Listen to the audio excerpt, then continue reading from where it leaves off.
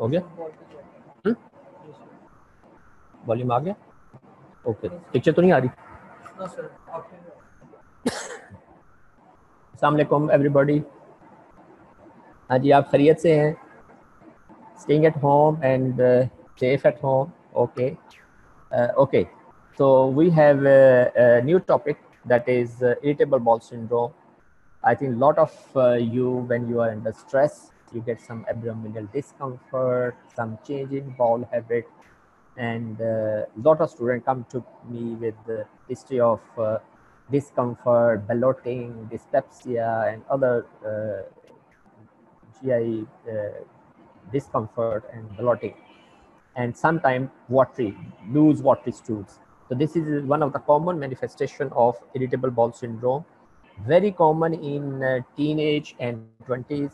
And uh, we see a lot of patients when they are under stress and uh, they have some anxiety, they get this, this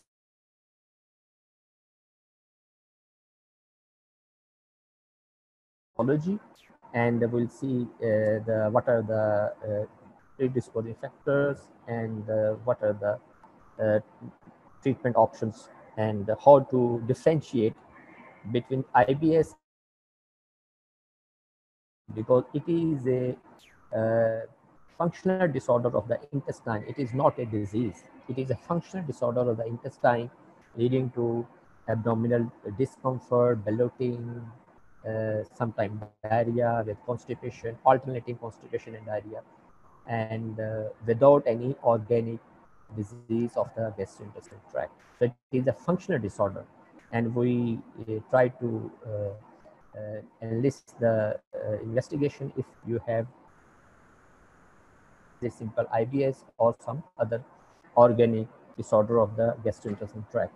So initially we'll see the structure of the large gut we'll see uh, the definition of what is IBS, epidemiology of IBS, what are the causes, what are the precipitating factors, and how the uh, is symptoms, how the patient present to you uh, with the IBS and different types of IBS, and how would you make a diagnosis, and what investigation would you like to do to rule out any or organic, organic intestinal disorder? Because it is a uh, disorder of the motility of the intestinal tract or there is some uh, hyper responsiveness of the uh, viscera that is your brain gut axis is disturbed and you get these gastrointestinal symptoms and we'll discuss the treatment options and finally we'll see how we can have a psychosocial counseling of the patient this is very very important part of the treatment because uh, your anxiety, stress, and sometimes even depression. Depression can lead to gastrointestinal symptoms. so normally, if we see the uh, colon that is a part of the large in, uh, intestine, uh, your uh, lower uh, part of the gastrointestinal tract, it is almost five to five feet long and with a diameter of 2.5 inches.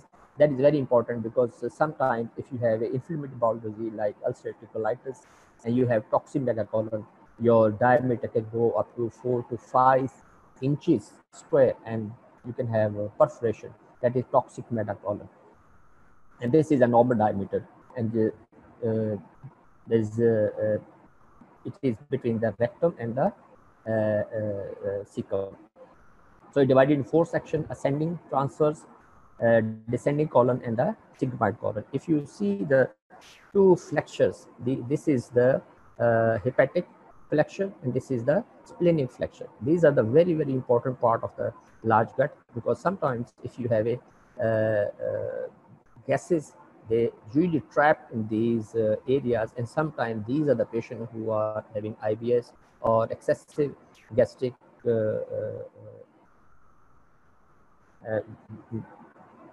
bloating, they can have uh, feeling of uh, discomfort at the both upper flanks of the body.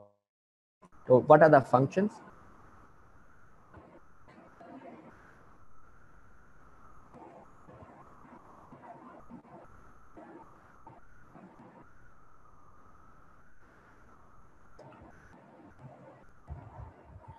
So irritable bowel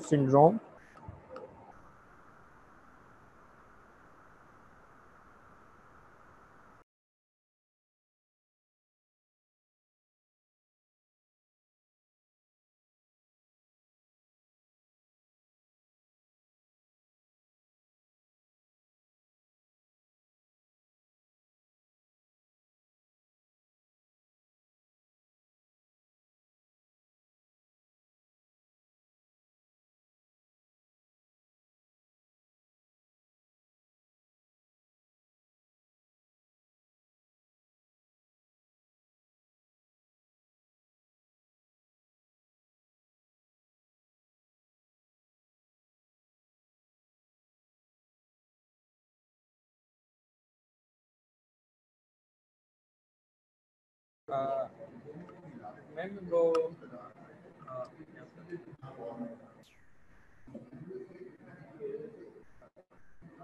ठीक है, call. Ma'am site पे आप देख लेंगे? उनको आप बता दें इसे कनेक्ट करें दोबारा। डिस्कनेक्ट हो गया था। अब कहाँ जाना? कनेक्ट आपने बस शेयर स्क्रीन करनी है आप कनेक्टेड हो। कौन सी वाली करूँ ये ये ये वाली। ये?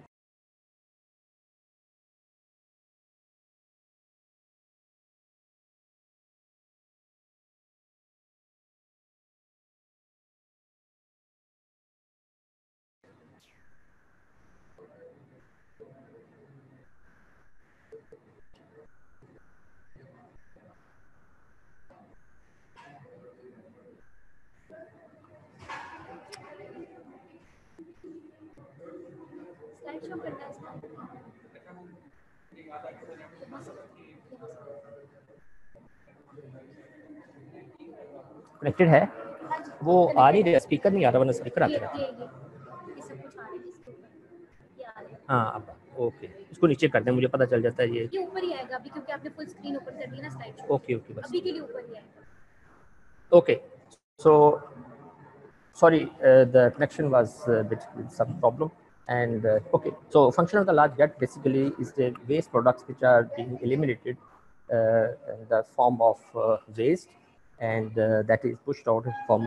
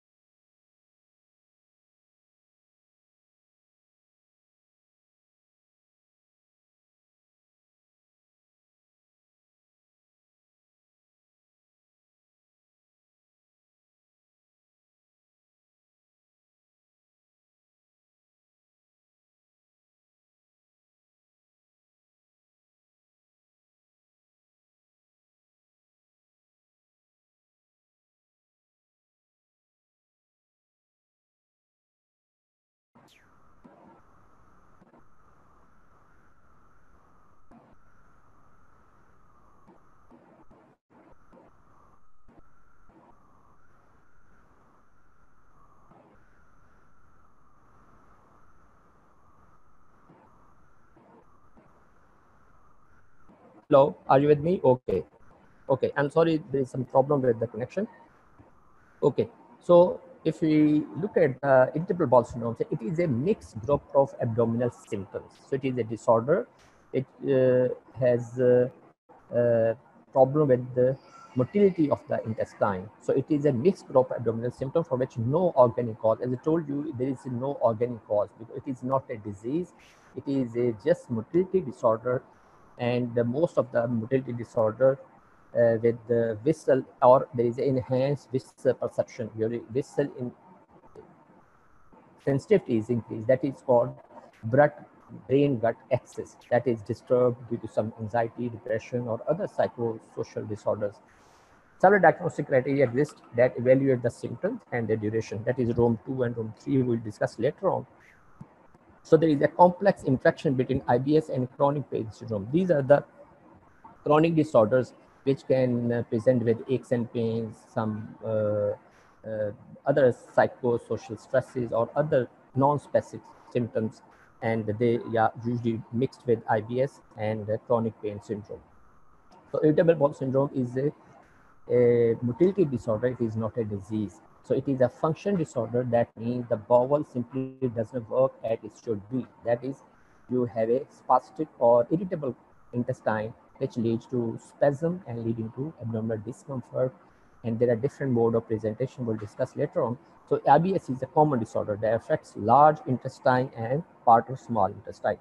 Commonly causes cramping, abdominal pain, discomfort, bloating, gases, diarrhea, and constipation. Sometimes IBS is a predominantly uh, present with constipation, sometimes with diarrhea, or it can be alternating diarrhea and constipation.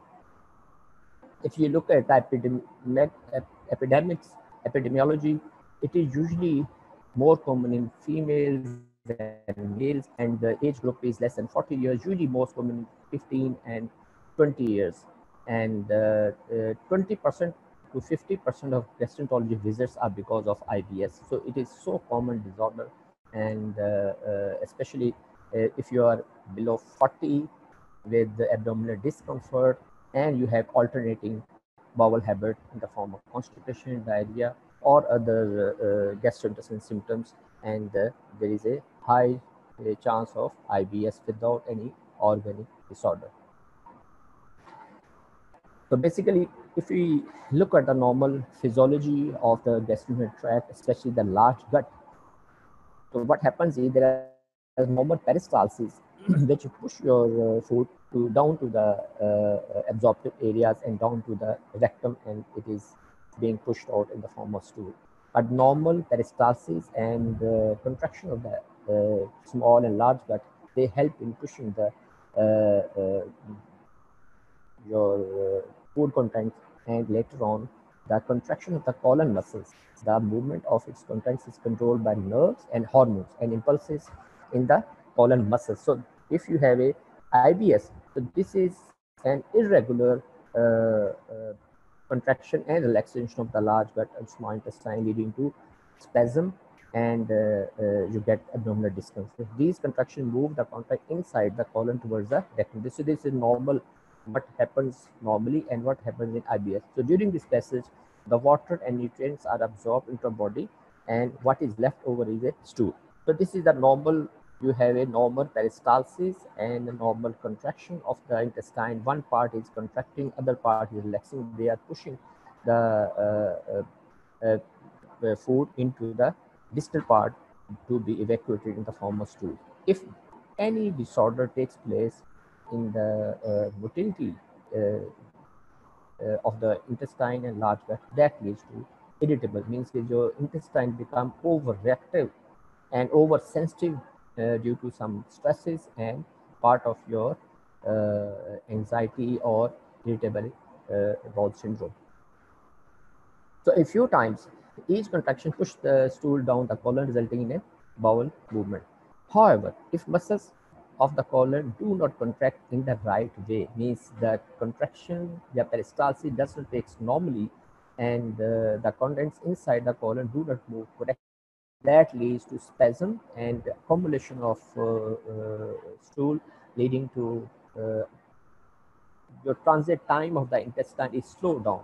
Your water is excessively absorbed and leading to constipation and patient may become constipated and uh, with abdominal discomfort discomfort, cramps, constipation, and sense of incomplete stool movement. Or sometimes, if the intestine become overreactive, they are peristalsis are very fast. Your transit time is uh, increased.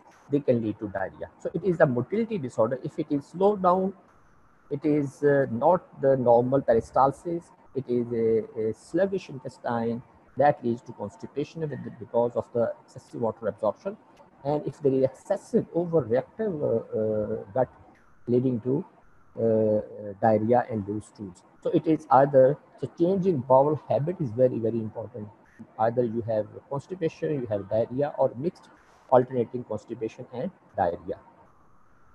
If you look at a normal colon, you can see the normal haustral pattern and the normal uh, uh, intestine, the large gut, which look like it.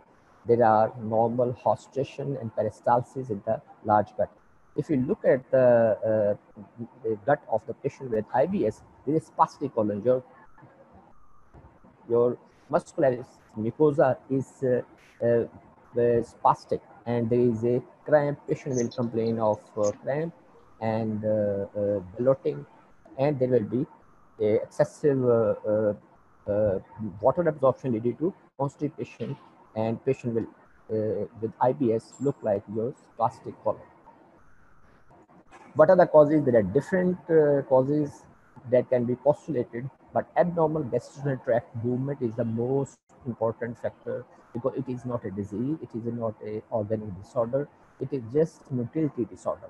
A change in our system communication between GI and brain.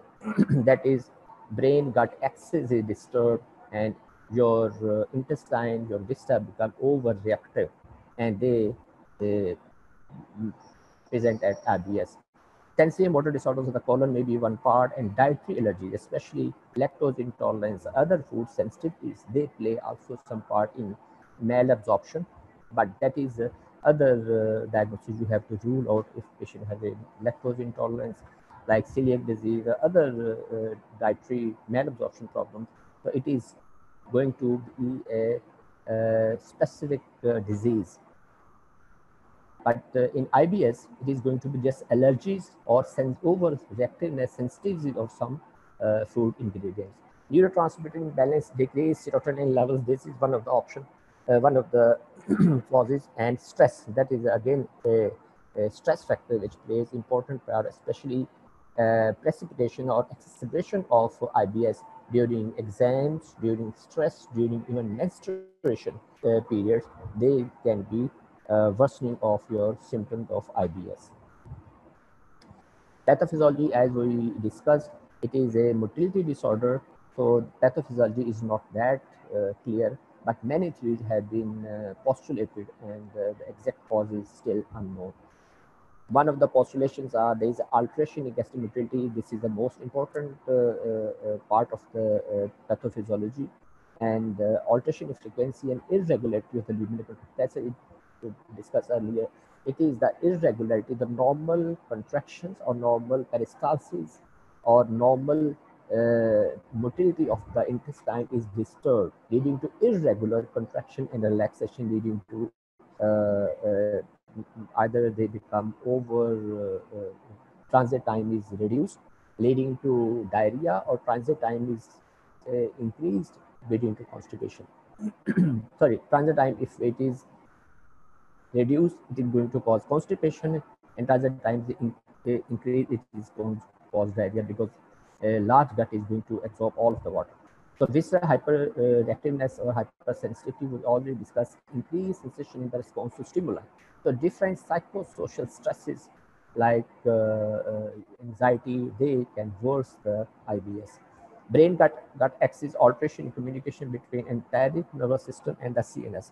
So if there is some disturbance in the stimuli from the CNS to the entire uh, uh, uh, uh system that can cause some, like if you have a patient with myoclonic jerks or a patient with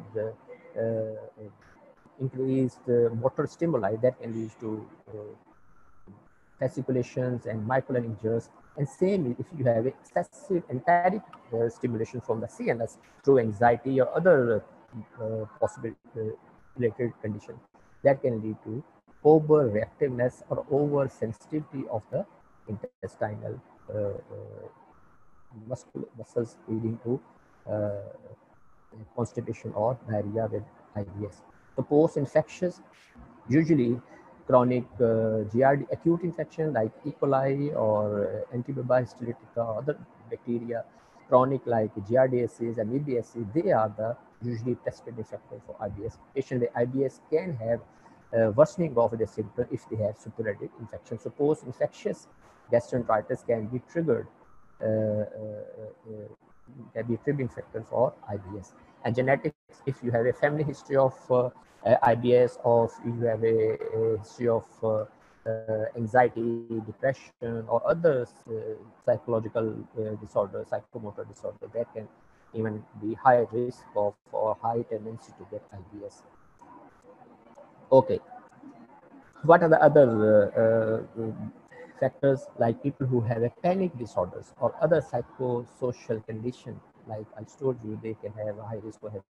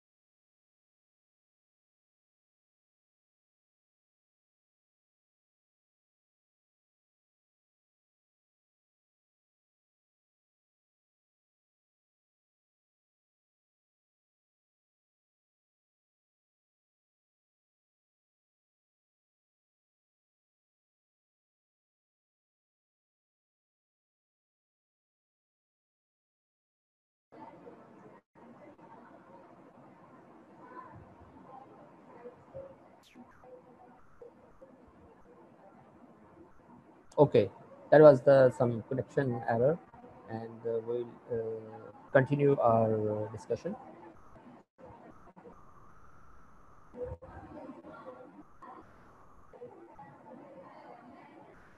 Okay what else? The patient who have a history of uh, irritable bowel syndrome and uh, I, I discussed these are the patients who have any history of such conditions like history of IBS or patients who have chronic fatigue syndrome, fibromyalgia.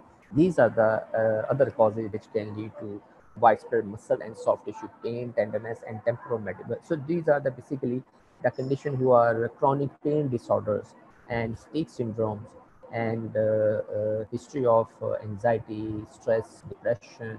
These are the patients who have high risk of getting IBS. Okay, what are the common symptoms? This is very, very important. Must have experienced uh, a lot of students, they experience uh, uh, abdominal discomfort, especially lower abdominal pain. And there is a feeling of abdominal pain, discomfort, usually relieved by defecation. Or patient uh, may have associated altered stool form and frequency. So this is very, very important. Stool form, either they have a, a lumpy hard stool or they have a loose watery stool. So this is a very important. Either you have a IBS predominant constipation, IBS with diarrhea, or IBS with mixed variety. So mixed variety is usually alternating uh, constipation and diarrhea. So alter stool form and frequency that is uh, very important for uh, symptoms of IBS. The pain patient may have a lower abdominal pain or discomfort and may have bloating and uh, abdominal distension abnormal bowel habits in period of constipation and alternating uh, diarrhea and constipation and this is very important sense of incomplete evacuation. Patient usually feels he has to pass uh, uh, stool and uh, when he goes to toilet he uh, just have a passage of stool which are pellets like or sometimes they are hard or watery. And after uh, completing the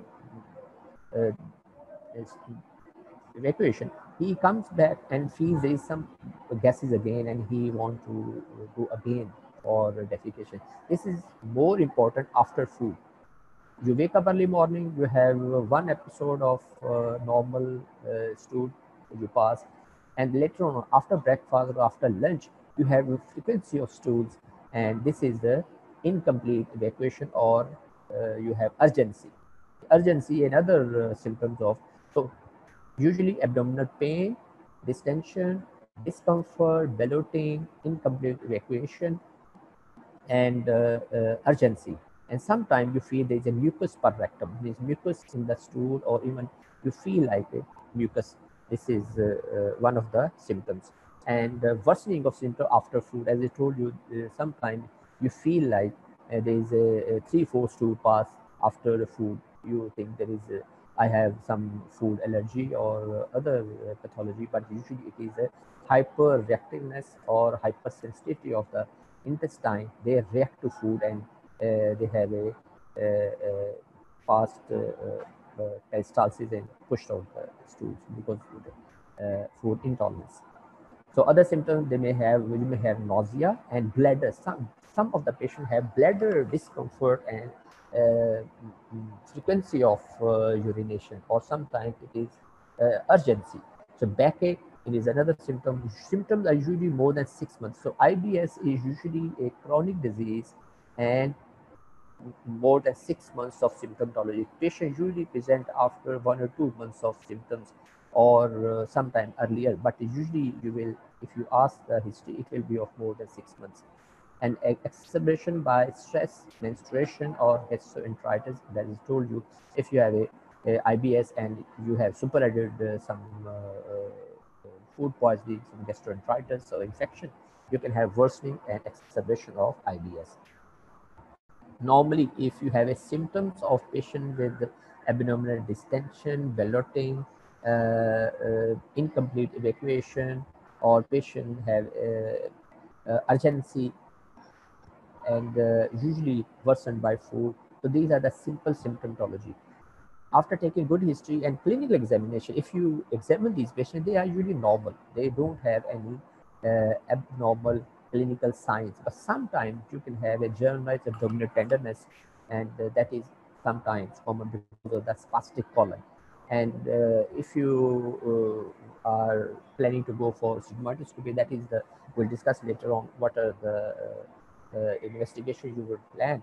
But if insufflation of air during sigmoidoscopy may reproduce the pain, means if you uh, inject some uh, air during sigmoidoscopy, that is going to cause spasm and uh, abdominal pain and discomfort as in IBS. Okay. Positive history suggesting IBS would be if patient have a abdominal pain, discomfort, bloating, constipation, and diarrhea. So identify your primary patient with symptoms of number one, abdominal pain, number two, abdominal discomfort. They may have bloating, they may have constipation or diarrhea, simple constipation, diarrhea, or alternating constipation and diarrhea. Look for the red flag. Red flag means any warning signs. If uh, physical examination is normal, laboratory tests are normal, and the patient have any red sign, I'll discuss the next slide would be a red sign. What are the patient you are suspecting IBS, but if they get any of these signs and symptoms and laboratory tests. They are the red alert. Because they are not simple IBS. They have other pathological disease, other brain, other organ disease of the intestine. So perform selective examination and test to rule out organic disease. So this is the patient who are red alert and make a positive diagnosis. So who are the patients which are red alert? Number one, age, if we are patient more than 40 years, they are in, not in teens and 20s is the most common age. Sometimes in children, they have uh, uh, constipation diarrhea. But if a patient is above 40, don't label them IBS until unless you have investigated them thoroughly. Number two, if history is less than six months, acute onset of diarrhea, constipation, or other associated problems, uh, think of uh, uh, any organic disorder. And anorexia patient had loss of appetite. There is a history of weight loss. And patient wakes up at night. This is a very very important. Wakes up at night because of abdominal pain or gets diarrhea. This is again one it is not ibs usually nighttime pain diarrhea maybe peptic ulcer disease maybe other disorders of the intestine but the ibs is less likely mouth ulcers Aphthous ulceration usually ulcerative colitis and other diseases, they have mouth ulceration, not IBS. Increase CRP and ESR. This is another acute phase proteins which are indicative of some pathological or organic organic uh, intestinal disorder rather than a simple IBS. Low Hb, if patient is having uh, uh, melena, he's having uh, bleeding PR, or uh, there is a stool for occult blood is positive because it is a IBS is a functional disorder. It will not cause any pathological process leading to low hemoglobin until unless patient uh, is uh, not taking enough diet. But it is again, you have to rule out other pathology rather than labeling him as IBS.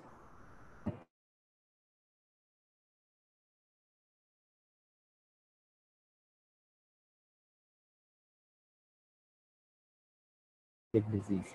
And if bleeding PR. So these are the 10 red alerts as we discussed in a patient with dyspepsia or dyspeptic disease. Uh, you are in class, I can ask uh, one of the students what are the alert or red sign patient with dyspeptic disease. So they were number one, weight loss. Number two, history of dysphagia, difficulty in swallowing. Number two, if they were history of melena. And they were history uh, of weight loss.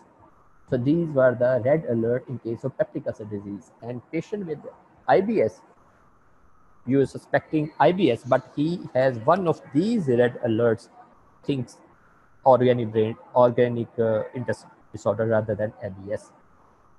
So again, red flags, number one, history, more than six months, history of weight loss, onset more than 40, 50 years age, and family history of any cancer or any tumor, or especially history of uh, uh, intestinal uh, ductal CA or large gut CA or uh, even ovarian CA. That is most likely a organic pathology rather than IBS. So initial lab, you will ask for CBC, you will, if the Hb is low, that means you are losing blood somewhere and it is a pathology uh, uh, leading to GI bleed. It is not simple IBS. Leukocytosis, again, some infective cause and ESR and CRP raise and thyroid function. They also in patient with thyrotoxicosis, even hypothyroidism, they can have constipation with hypothyroidism and thyrotoxicosis leading to diarrhea. So these are the metabolic disorder, the organic disorder, which should be ruled out. Physically, patient usually normal, but if you have an abnormal physical sign like bulge in the uh, epigastric area, some tumor, some mass in the abdomen, or they, if you do PR, there is rectal bleed, and uh, there is some obstruction. So these are the red alerts which should make uh, thinking of uh, uh, some pathological process or organic uh, disorder rather than simple IBS. Positive flexible sigmoidoscopy or colonoscopy you can go for and take for biopsy if uh, that is required. So balance between uh, pathological process and uh, functional disorder like IBS. So functional would be young patient, typical symptoms, normal physical examination, normal investigation, and positive response to therapy. Like if you uh, plan the uh, treatment of IBS, which we will discuss later on, this is most likely to be IBS. If red alert, if patient is old, atypical symptoms, abnormal laboratory finding like ESR, CRP raised, Hb is low, and uh, if you have a celiac serology positive or other tests, uh, CA125 you can do for uh, CA uh, ovary. But if, if a family history of uh, uh, any neoplasia or any tumor, endoscopic findings, and negative response to therapy and erratic follow-up. So these are the balance you would say it is a functional disorder or it is an organic disorder in a patient who is having the acute onset of symptoms, who is old age, with all these clinical manifestations which are suggesting of uh, some pathological process, the organic disorder rather than a functional disorder like IBS. So it is a very, very uh, important to rule out pathology or normal functional disorder of the intestinal motility. Again, we uh, have already uh, just, uh, I mentioned you types of uh, uh, IBS, either it is predominant constipation, predominant diarrhea, or alternative constipation and diarrhea, or sometimes it is a mixed variety. So these are normally four types of uh, IBS. The person tends to alternate constipation and normal stool. So usually there are uh, lumpy and hard stool in case of constipation. Diarrhea may be just watery and loose water stools and patient have typical urgency and cannot delay because water uh, is being pushed out. There usually some incontinence. If you have a watery diarrhea, they usually experience some incontinence and urgency and they feel better and relaxed once they pass their stool. And uh, this is the uh, diarrhea predominant uh, IBS. If you have alternative constipation and diarrhea, that is the third variety, and fourth is a mixed type. So this is the normal uh, IBS if you have a patient with a constipation, predominant complication, constipation. The food moves too slowly. As I told you, the transit time is very slow. And uh, slowly through the bowel, this causes stool that hard to means the water is reabsorbed to the large intestine, large uh, gut, and the stool become hard. In the diarrhea type, your food moves too quickly through the bowel and that causes loose watery stool. So these are the two uh, main varieties, uh, uh, whether it is a constipated variety or it is a diarrhea variety or uh, mixed variety with alternative constipation and diarrhea. Okay, how would you make a diagnosis? Again, history and very, very important. So history, the form of stool and the frequency. They are very, form means either they are constipated with the lumpy or hard stool or uh, they have a soft, watery or uh, loose stools.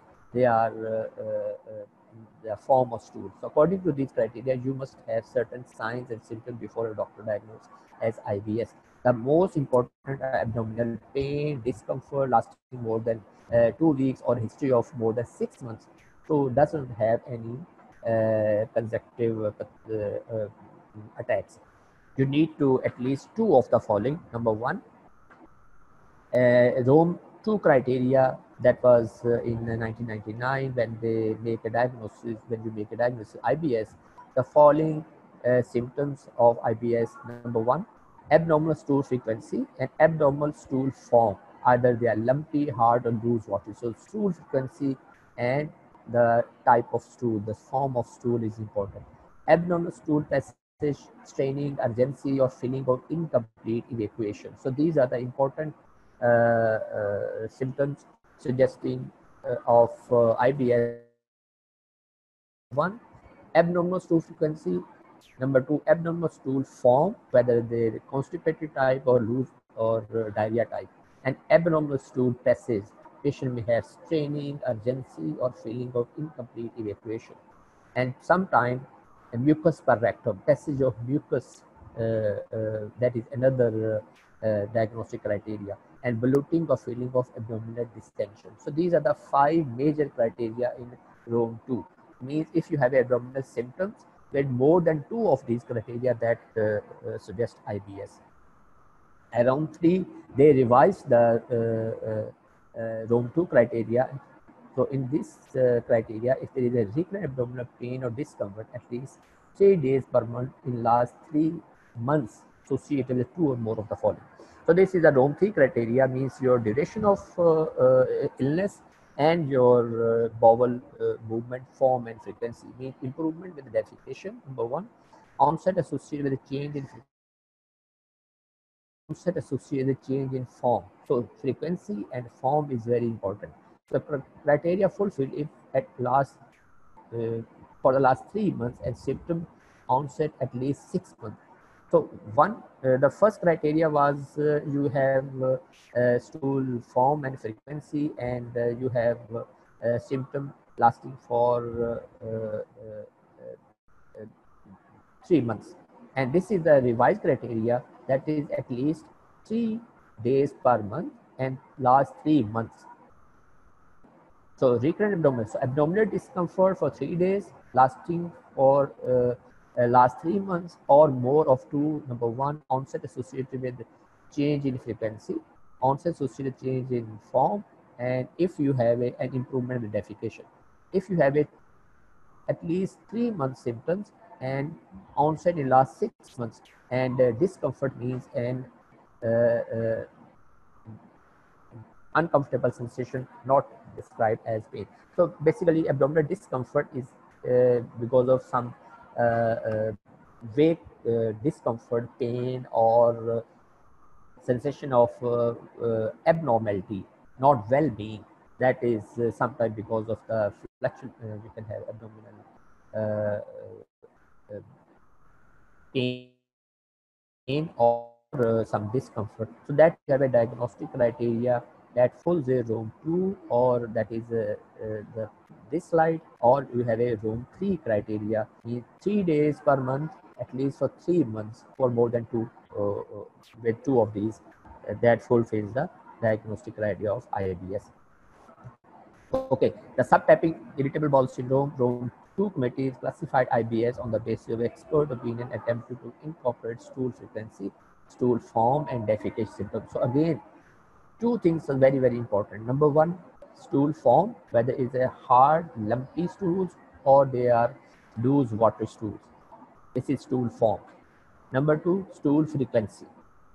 And number three, they have a defecation like symptoms of uh, like abdominal discomfort and pain.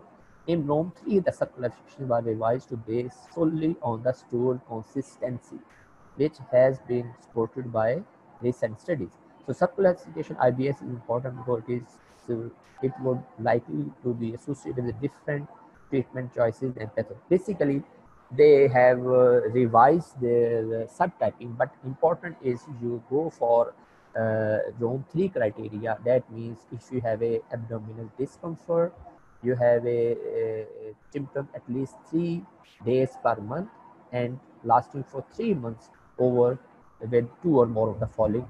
Number one, you have improvement with defecation, onset social change in frequency, and also social change in form. So frequency, form, whether you have a constipation, you have a diarrhea or uh, urgency and improvement in improvement after defecation or incomplete evacuation. Okay, a change in frequency, this is another very, very important. A change in frequency or consistency of your stool, for example, you may change from having one normal form stool every day to three or more loose stool daily. You may have only one hard stool every three or four days. So it is a change in bowel frequency. Either you have a constipated, uh, uh, constipated IBS or you have a loose uh, uh, diarrhea uh, IBS or a mixed variety. So straining, urgency or feeling that you can't empty your bowel empty completely. So that is a change in frequency and mucus in your stool and bloating abdominal distension. So again, four things are important. Number one, abdominal pain and discomfort. Number two, either it is a constipation or diarrhea variety, or you have a staining, urgency, feeling, you uh, there is incomplete evacuation and mucus per rectum. Okay, so what are the that normally uh, investigation you would like to uh, do in your patient with suspected IBS and you want to rule out any organic intestinal disorder. So routinely you will go for CBC, RF, LFT, uh, thyroid function test, and you will go for stool examination and uh, uh, you could go for normal uh, but additional if you want to make if you have a red alert signs or other suspicion of disease then you could go for like you can rule out celiac disease you can rule out lactose intolerance you can go for flexible or uh, sigmoidoscopy or colonoscopy just to make sure it is not inflammatory bowel disease or other uh, pathology. So flexible sigmoidoscopy, this test examines the lower part of the colon with uh, flexible light tube sigmoidoscope. You can take biopsy at the same time and uh, you can see the uh, large gut, even uh, your sigmoid to see the, the, the any pathological process or a simple functional disorder. CT scan or MRCP, you can go for uh, to make any other uh, investigation. Colonoscopy, in some cases, your doctor may perform this as a diagnostic test. It is a flexible tube to be examined entire length of the colon, especially to rule out any inflammatory bowel disease, uh, other uh, pathologies like uh, uh, diverticular disease, CA colon, or if you have a red alert signs. Otherwise, these routine investigations are simply done like CBC, that the routine investigation you will go for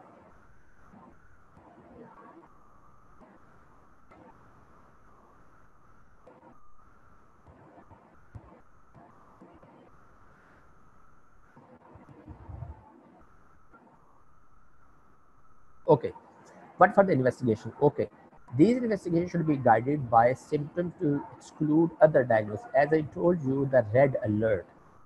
You simple go for simple CBC, LFT, thyroid function test if you suspect uh, thyroid disorder, or you will go for uh, uh, any uh, norm, any abnormal uh, history or clinical sign. If patient is more than 50 years, or any marker or red alert, as I discussed the previous 10 markers, or organic disease, you go for colonoscopy. If you have a low threshold for referring a family history of ovarian and bowel cancer, this is very important. Referring the patient and having opinion from your other colleague if you are suspecting and some organic uh, intestinal disorder like bowel cancer or ovarian tumor, you can uh, uh, refer the patient to a gynecologist or other colleague to uh, make, to help you if the patient have any pathological disease. Excluding ovarian cancer may need a CA125. If diarrhea is predominant, you can go for LFT, stool culture, B12 folate level, and endomysial antibody to rule out celiac disease. And patient may give a history of uh, uh, gluten enteropathy or patient may say after taking chapati or the, the gluten sensitivity he gets diarrhea. So that would be a very suggestive history in case of celiac disease. And patient will be anemic, iron deficiency, fat soluble vitamins, uh, A, D, E, and K deficiency. So this is a complex uh, malabsorption syndrome in case of celiac disease. During biopsy, if you suspect uh, celiac disease, you can go for during biopsy to see the uh, villus atrophy or uh, uh, other inflammatory process. Thyroid function tests, TSS, especially hypo and hyperthyroidism, may uh, present like uh, like uh, if you have a constipation or hypothyroidism and diarrhea with hyperthyroidism. Barium studies and rectal biopsy if required to rule out ulcerative colitis. Giardia like Giardia, amoeba, and ova cyst uh, in stool examination. If you are suspecting some post-infectious or infective diarrhea, you can go for uh, uh, stool for ova, cyst, parasite and giardia. Okay, one of the important uh, topic, lactose intolerance, that is uh, the uh, um, lactase is an enzyme you need to digest the sugar found in dietary products, dairy products. So this is the enzyme which is deficient in uh, almost 30% of uh, population in our part of the world. Overall, lactose intolerance is found in 20-25%, but in our uh, area, the lactose intolerance is very, very common and patients usually get bloating, dyspepsia and abdominal distension after taking milk because uh, they are unable to uh, digest and absorb the lactose that is the uh, and you need an enzyme which is deficient in these patients. So if you don't produce this enzyme, you may have a problem including abdominal pain, gas and diarrhea. To find out if this is the cause of your symptom, your doctor may order a breath test okay hydrogen breath test can be done or you can add uh, milk aid is a, a drops they come in that contain lactase you can put a 5 to 10 drops in a glass of water milk and uh, uh that will uh, treat your uh, lactose intolerance and there may be allergy of other food items like patient may have allergies to onions allergy to other foods they can be uh, ruled out on uh, excluding the uh, food products. Means if you have lactose intolerance, stop taking milk.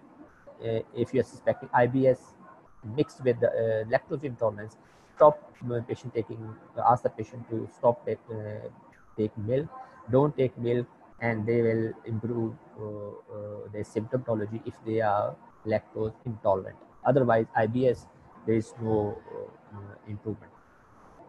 Okay, so IBS, as I told you, it is a functional, it is a motility disorder without any organic cause. We have already discussed the symptomatology, the clinical features, the investigation, and red alert signs, red alert symptoms. Very, very important. 10 red alerts, uh, as I told you, they are very, very important. And if you are satisfied the patient is IBS, then you go for uh, drugs and diet especially and psychosocial interventions. So these are the very important aspect of the treatment.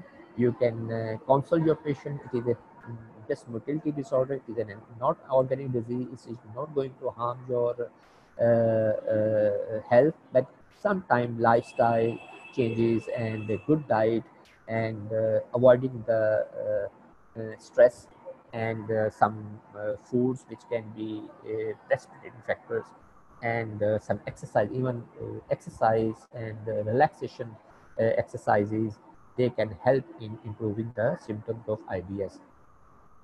So dietary modification, especially avoid food that triggers the symptom, such as uh, uh, if you have a excessive gas formation, foods like lentils, legumes, beans, starch, coffee, and sorbitol. These are the, and even uh, uh, food uh, like cabbage and all these things, they are gas forming stools and a lot of gases are being formed and patient should avoid these foods.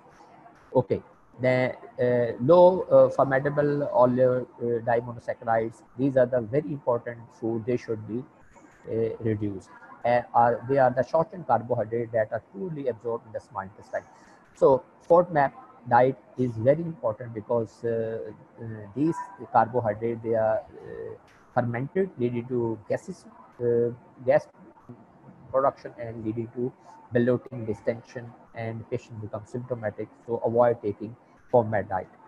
Fiber uh, supplementation may improve, especially isbolahas, not the fiber which is in uh, legumes and uh, brands and all that, but uh, fiber, especially isbolahas, we'll discuss later on, that can improve the bulk forming agents that can relieve your diarrhea. Okay, if you have a constipated IBS, especially the predominant constipation, standard healthy diet, bran and oats are better. Avoid insoluble fibers. Soluble fibers are now available, which can be taken in a glass of water and they help in uh, as a bulking agent and your stool is soft and bulky and it is passed uh, very nicely. Otherwise, if you have a uh, excessive uh, uh, saccharides, one, uh, they can lead to gas formation, especially carbohydrates are non-absorbable. They lead to gases and bloating and distension. bisacodyl and sodium bisulfate uh, asparaggus I told you can be is a non-fermentable water soluble fiber is better than lactulose. Lactulose again produces uh, H ions which has uh, some tendency to because it is non-absorbable carbohydrate uh, that lead to gas formation. So that can even worse the IBS. So if you have a predominant diarrhea, avoid taking sorbitol sweeteners. Okay, sweetener, they are non-absorbable uh, carbohydrates and they can cause uh, gases and uh, try bulking agents like isingolahas and loperamide. So if you have a diarrhea, you can uh, take uh, isingolahas and loperamide 2 milligram uh, 3 to 4 times per day. If you have a colic and bloating, you have a intestinal spasm, that can be treated by mebeverine 135 milligram 8 hourly or alverine uh, citrate 60 to 120 milligram 8 hourly or dicycloverine. These are the all drugs which are antispasmodic. They uh, prevent the colic. And probiotics are also part of the uh, treatment regime, which can improve your uh, uh, intestinal flora. And rifaximin is a antibiotic that uh, uh, is uh, uh, now in regime to treat patients who have excessive gases in your intestine and they have a bloating, they can be given rifaximin that is non-absorbable antibiotic to improve your gases psychosocial symptom and visceral hypersensitivity. So this is the aspect which is more important. Patients who are having panic attacks, who have anxiety, stress, and these are the patients who need uh, counseling to improve their symptoms. 50% of the patients, they just get better on uh, uh, the psychosocial counseling and they are given a hope. It is not a disease, it is a just a guilty disorder and it going to cause no harm to your body. So cognitive behavior therapy, very, very important. Tricyclic antidepressant can be used 10 to 50 milligram at night SSRI like fluoxetine, sertraline, or uh, can be used. So these are the uh, drugs which can modify your uh, gut-brain, uh, brain-gut axis to relax you and uh, have a, a, a, relaxing effect and uh, less uh, anxiety and depression. New drugs which are modulating the brain-gut axis like 5-hydroxytryptamine antagonist, aldosterone, LS, uh, uh, sorry, alosetron has been used with good uh, results.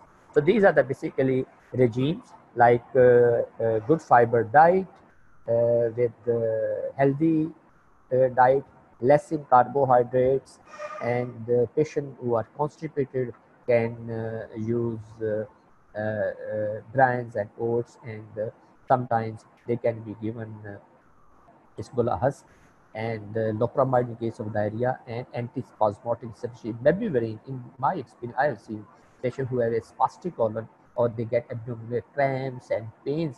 Mebeverine is very, very effective. They can be given 135 milligram mebeverine tablet. Uh, uh, uh, two to three times per day. And if you have excessive gases, rifaximin is good for uh, gas formation. And the new drugs, there are a lot of trials. Uh, uh, this is 5-hydroxy tryptophan antagonist there can be used.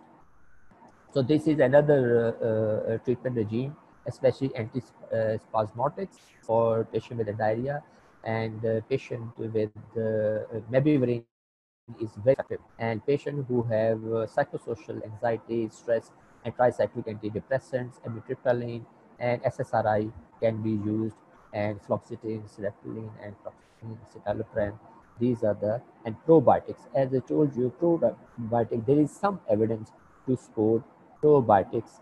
They can improve your symptoms, especially bloating and flatulence. And the patient with the serotonin antagonist and 5-hydroxytryptamine can be used. And these are the new drugs which are usually given to, to patients who are uh, having uh, excessive gases and uh, uh excessive motility disorders alosetron. Al this is a serotonin antagonist. An anti-motility agent, some loperamide. If you have a excessive diarrhea and a patient can be used, Imodium is simple uh, 5 milligram per day, you can be used. Uh, loperamide and serotonin antagonists and alosetron. Thank you very much. Uh, I hope uh, you will understand what is IBS and what is a pathological disease of the intestine. But uh, most of the patients with history less than in the teen and 20s, no history of weight loss, no history of any other pathological process, and uh, treat them as IBS. But if you have any red alert signs, try to uh, investigate them for any pathological disease. Okay, thank you very much. And uh, just give me your feedback if you have any query. Thank you. Allah Hafiz. Stay home and stay healthy. Okay.